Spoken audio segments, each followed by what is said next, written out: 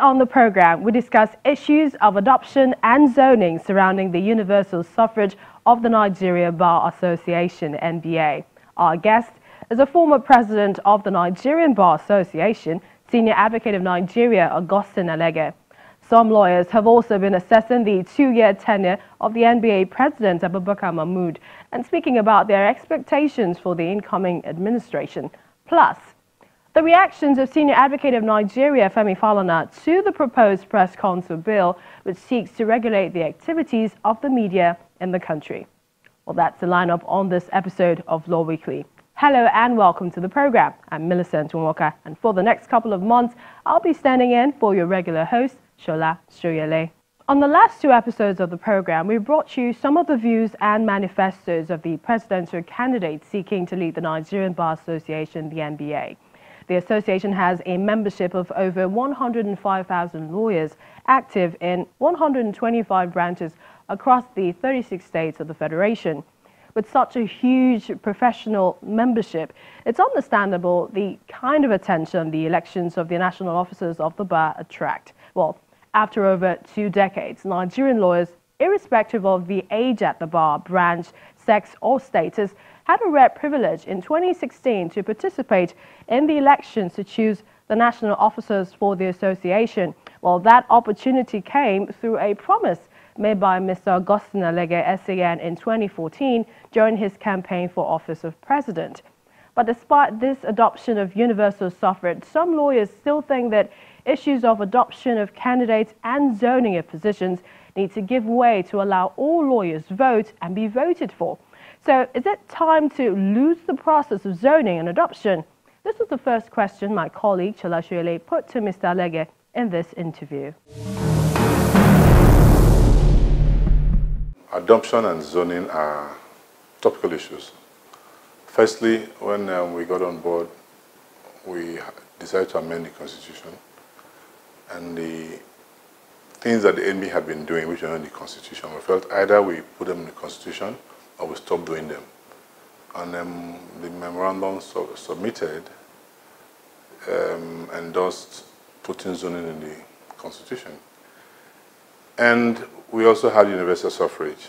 Universal suffrage was taken out and brought in delegate election. And if you have universal suffrage and um, you don't have zoning, you run the risk of one group controlling the entire association. So that's why zoning is good. However, um, those who still talk of adoption do not have the sense of what has happened with universal suffrage. Universal suffrage is a right for every person to cast their vote.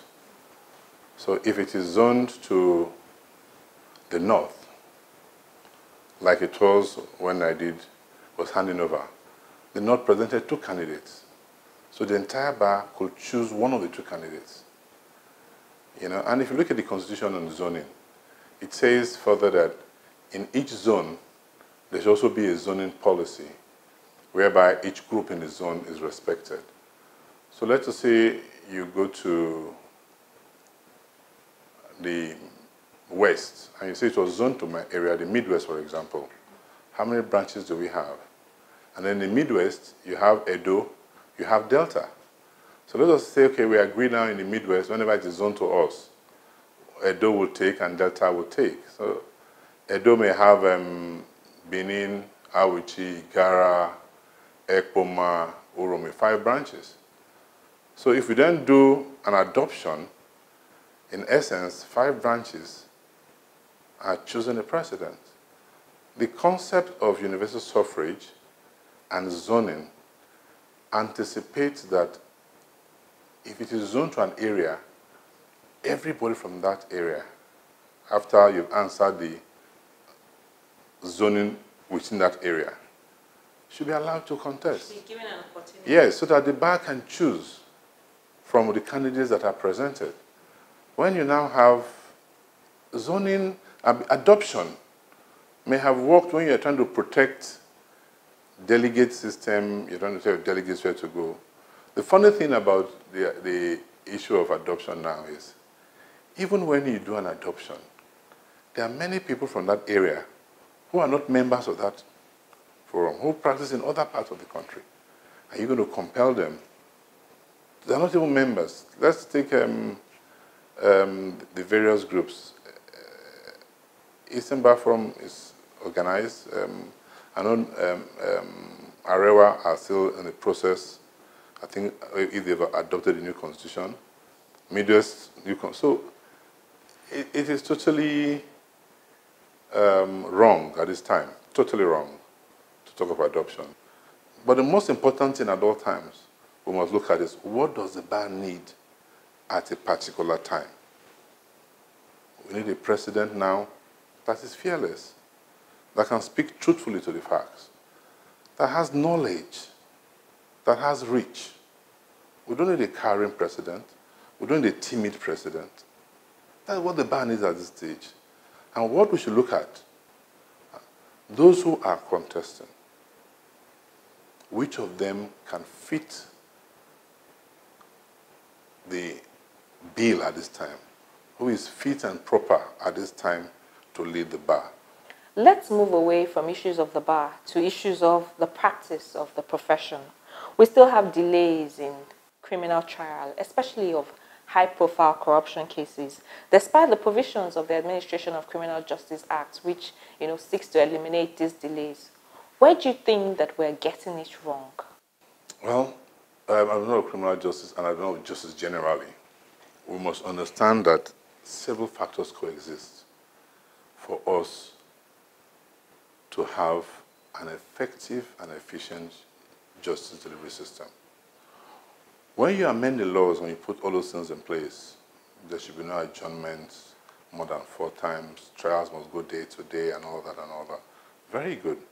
You need to support it with some infrastructure, with some logistics, and with personnel. When you have a judge who has, um, I, I, was speaking recently with um, Honorable Justice um, Adejumo, the President of the National Industrial Court, and he told me they just opened four courtrooms. I said, oh, it means um, he can post more judges. He said, we already have four judges. I said, ah. and they have over a thousand cases already. That each judge has 250 cases in his docket. So you come back to the trials. How many cases do these judges already have in their dockets? A judge has 600 cases.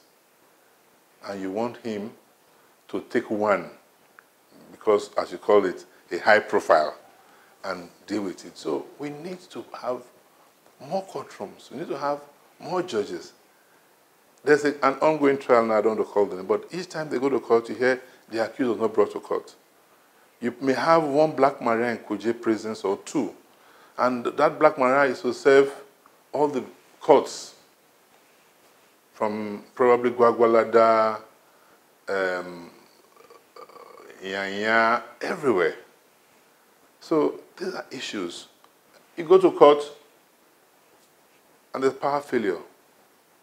The court will not have a generating set. How does the judge run a day-to-day -day trial?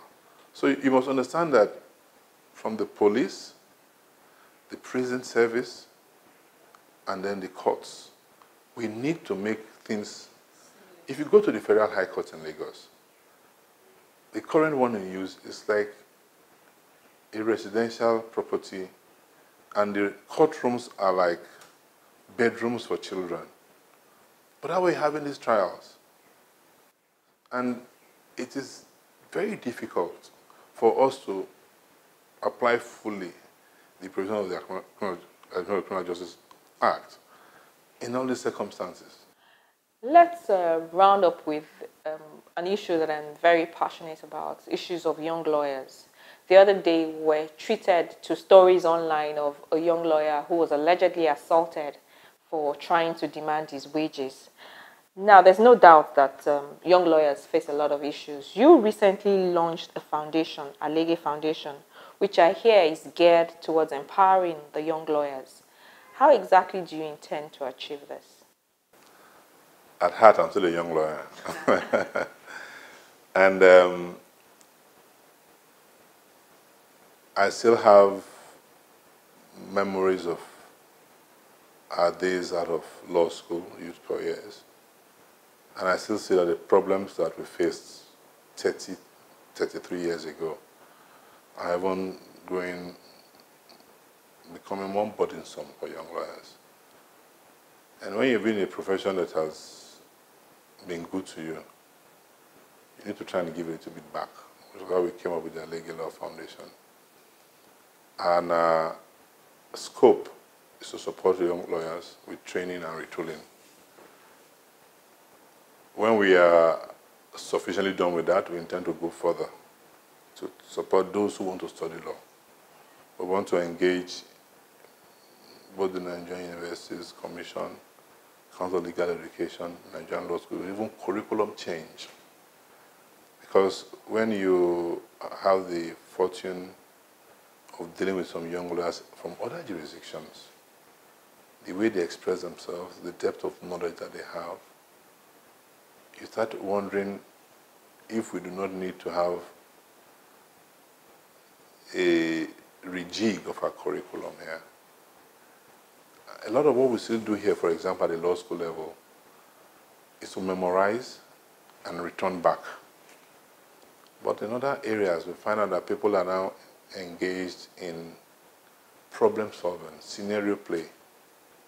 Whatever the law is, you, it's how you apply it.